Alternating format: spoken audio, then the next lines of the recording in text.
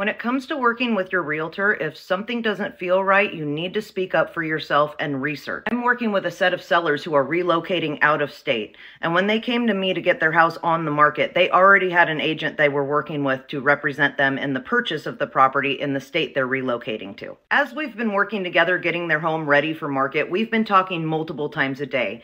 And they asked me if they could ask some questions about some things their realtor in the other state were doing that was making them feel a little bit uncomfortable uncomfortable. They wanted to see if it was normal. These are repeat clients of mine. I sold them the house I'm about to sell, so I'm very protective of my people. And of course, I love giving advice about real estate. They proceeded to tell me that the realtor they're working with in the other state is advising them that she will not be submitting any offers on replacement properties until they are only a week away from closing escrow on the home that they're selling. Additionally, she's telling them that in this state, it's very normal for the buyer to waive the full inspection contingency. When I heard this, both those things were major red flags to me, but I'm not one to throw a realtor under the bus. So I told them, let me do some research. Let me call my person in that state and ask if that's how it's done. So I called my realtor friend who's in that state that they're relocating to, and I ran this by her. And she was mortified and told me they need another agent ASAP, which is what I suspected. Now, I will say this other agent is right in one front.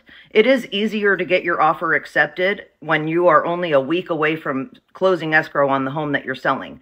But she's clearly not putting any thought into what that does to you as a buyer in a new state Relocating anywhere, but especially out of state, is extremely expensive and extremely stressful. So let me get this straight. Her advice to you is to basically pay for a hotel room or an Airbnb for almost a month while you wait to close escrow because she wouldn't submit an offer for you until you were only a week away from closing on the home that you're selling. And advising you to waive your inspection contingency, that is putting you at major risk.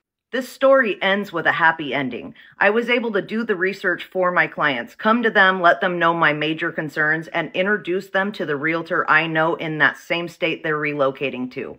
They're now actively working with that agent, making offers, and we just entered escrow on the home that they're selling here in California. The moral of this story is if something doesn't feel right, you really need to do research for yourself and see if your realtor is being honest with you or if they're being lazy. Moving is stressful enough. Your realtor should be your ally in the process, not a stress factor. If you're looking for an agent in the Sacramento region, I would love the chance to work with you. I'm Megan Laherrere and I've been selling homes for close to two decades and I know I can help you reach your real estate goals. And even if you're moving out of the area that I service, reach out to me. I know fantastic agents all across the nation and I don't send referrals unless I know their work ethic and know that they will do a good job for you.